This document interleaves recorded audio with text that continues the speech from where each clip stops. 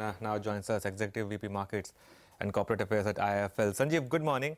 You know, the top of the mind topic today is Reliance Industries. Uh, uh, there's uh, a big fine by uh, uh, SEBI, of course, uh, not by Reliance's standards, but 400 crores plus penalty.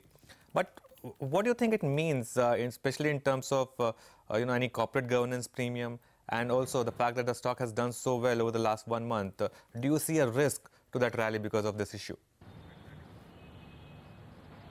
Yeah, I will. Anuj, it tells us that justice can be delayed but not denied. Just on a lighter note, what was there 10 years back is now come to rule and I think it's a prudent judgment, whatever, uh, I won't go into the pros and cons, but I think it will be a matter of time as we get over that. It is a little bit of a setback that a premium company like Reliance will not be on the derivative side. So, uh, however, I would say any weakness as of today for this event would be an opportunity to buy for the long-term investors because for once after almost 7-8 years, Reliance is now the bellwether which is actually leading the Nifty higher. And if we have to get to, you know, levels of 10,000 by June, then Reliance should be closer to 1450, 1500. And we think that uh, any weakness for this event will be hardly, uh, you know, it'll, it'll be all bought into. Uh, and, and we'll take it from there. Okay, so use any weakness on Reliance to buy into that stock. That's the word coming in. Hi, Sanjiv. Good morning. Good speaking with you as always.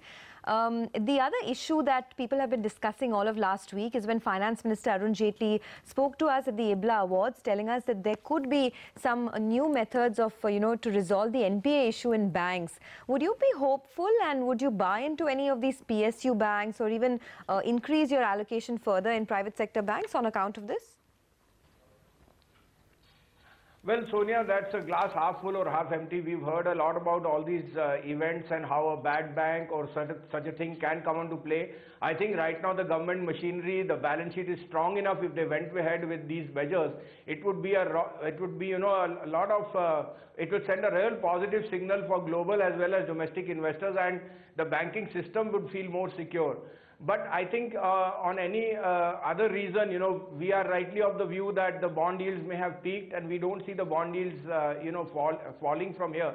So we think that uh, uh, the best of treasury profit may have played out for PSU banks. If you have to take a view, you have to take a view on the back that credit will expand in the second half and that should be a game changer because we know their modus operandi of uh, coming into the retail side rather than too much of dependence on corporate loans, that could be the key.